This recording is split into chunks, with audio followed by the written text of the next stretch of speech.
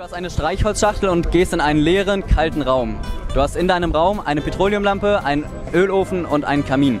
Was zündest du zuerst an? Keine Ahnung. Was habe ich alles Du nochmal? hast einen Ölofen, Ja. einen Kamin Ja. und eine Petroleumlampe.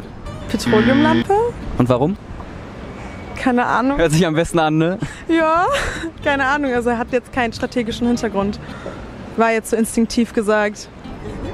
Äh, den Kamin. Ist aber falsch. Ja, habe ich mir gedacht. Und warum?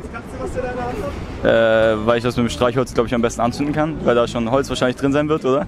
Also, wenn du jetzt das Streichholz erwähnst, was zündest du als erstes an? Streichholz. Sehr gut. Ah, fuck, scheiße. Du hast ein, eine Streichholzschachtel und die anderen Dinge im Raum. Und wie zündest du die anderen Dinge im Raum an? Mit einem? Streichholz? Sehr gut.